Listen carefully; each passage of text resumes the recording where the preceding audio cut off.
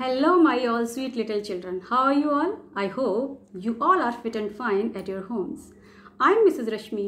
Welcome you all to the online Hindi classes. So let's start today's class. Today I'm going to teach you Hindi literature lesson number one. कांटों में राह बनाते हैं देखिए ये कविता किसके द्वारा लिखी गई है रामधारी सिंह दिनकर जी के द्वारा लिखी गई है कांटों में रहा कविता का एक्सप्लेनेशन करने से पहले मैं आपको रामधारी सिंह दिनकर जी के विषय में कुछ जानकारी देना चाहती हूँ। आपको पता होना चाहिए ये जो कविता लिखी हुई है जिसने, उनके विषय में आपको कुछ महत्वपूर्ण तथ्य पता होना चाहिए। देखिए पिक्चर देखिए आप कि रामधारी सिंह दिनकर जी कैसे दिखते थे। ओके?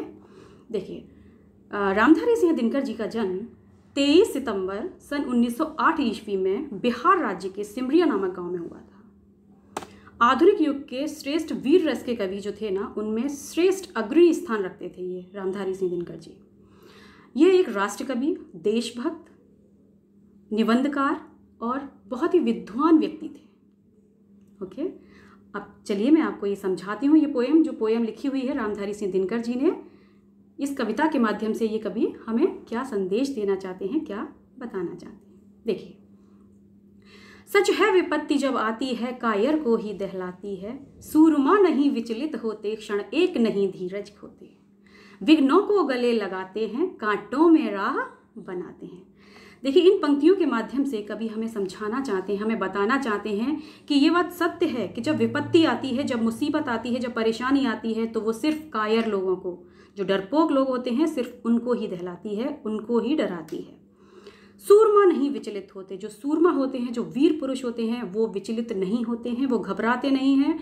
क्षण एक नहीं धीरज खोते और वो अपना धैर्य एक क्षण के लिए भी नहीं खोते, एक पल के लिए भी अपना धैर्य नहीं खोते हैं। और जो विघ्न होते हैं, विघ्न मीन्स होता है बच्चों, रुकावट।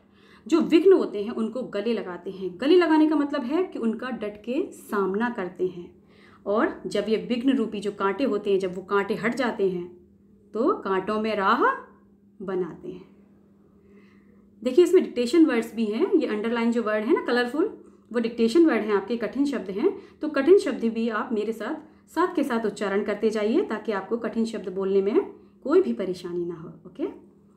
विपत्ति, कायर, दहलाती, सूरमा, विचलित, धीरज, विघ्न, ओके? अब चलिए हम नेक्स्ट पैराग्राफ समझते हैं। है कौन विघ्न ऐसा जग में टिक सके आदमी के मग में? खमठोंक ठेलता है जब नर, पर्वत के जाते पाँव उखड़। मानव जब ज़ोर लगाता है, पत्थर पानी बन जाता है। देखिए, इन पंक्तियों के माध्यम से रामधारी सिंह दिनकर जी क्या बताना चाहते हैं कि कोई भी ऐसा विघ्न नहीं है, कोई भी ऐसी रुकावट नहीं है इस संसार में। टिक सके आदमी के मग में कि जो आदमी के रास्ते में मगमीस होता है रास्ता, आदमी के रास्ते में टिक सके। क्यों नहीं टिक सकती? क्योंकि जब जो व्यक्ति है, मानव है, खम ठोंक ठेलता है जमनर यानी जो परिस्थिति उसके सामने आती है, जो परेशानी वाली परिस्थिति आती है, कैसी भी परिस्थिति आती है, जब वो उसका पूरे जोश के साथ, पूरी वीरता के साथ, पूरे धैर्य के साथ जब उसका सामना करता है तो पर्वत के जाते पाँव उखड़। मीन्स जो परेशानी है, वो क्या होती है? वो दूर चली जाती है। परेशानी दूर हो जाती है जब मानव पूरी तरीके से ज़ोर लगाता है अपनी वीरता का, अपने धैर्य का, अपने विवेक का। अपनी परिस्थिति का सामना करने में। तो क्या होता है? पत्थर भी पानी बन जाता है, यानी परेशानी दूर चली जाती है और उसका जीवन सफल होता है और वो अपने लक्ष्य की प्राप्ति कर लेता है। देखिए, इसमें जो डिक्टेशन वर्ड्स आए हुए हैं, कठिन शब्द, उनको भी आप एक बार कर लीजिए, मेरे साथ उच्चारण कर लीजिए तो आपको बोलने में कोई भी परेशानी नहीं होगी। जग, मग, खम, ठोंक, मानव। ओके? अब देखिए नेक्स्ट पैराग्राफ में कवि क्या बताना चाहते हैं। गुण बड़े एक से एक प्रखर हैं, छिपे मानवों के भीतर। मेहदी में जैसे लाली है, वर्तिका बीच उजियाली हो। बाती जो नहीं जलाता है, रोशनी नहीं वह पाता है। आप देखिए, कितनी अच्छी बात कही है रामधारी सिंह दिनकर जी ने इसमें। कि मानव के भीतर, मानव के अंदर बहुत सारे प्रखर गुण छिपे हुए हैं।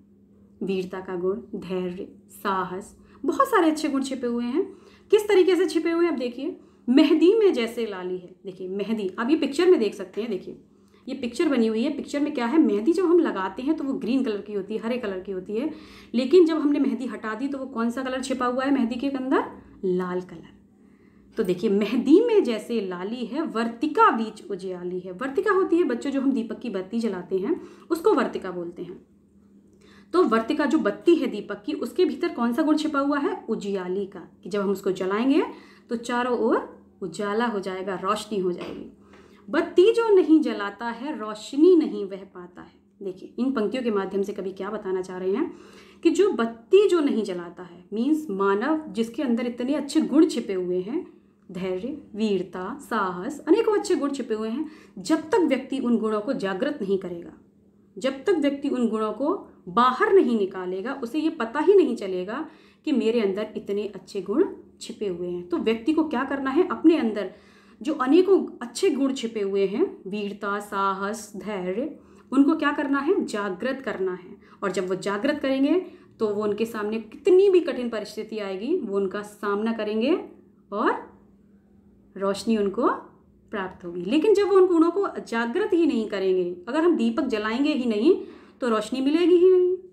ठीक उसी प्रकार जब तक व्यक्ति अपने अंदर के गुणों को जागृत नहीं करेगा, तब तक उसको अपने लक्ष्य की प्राप्ति नहीं हो सकती।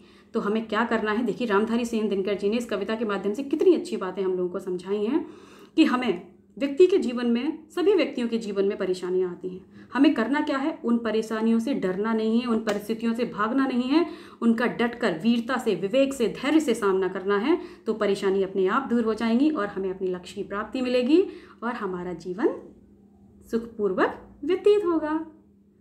ओके?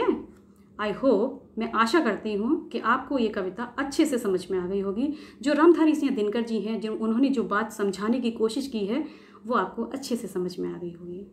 है ना? Okay thank you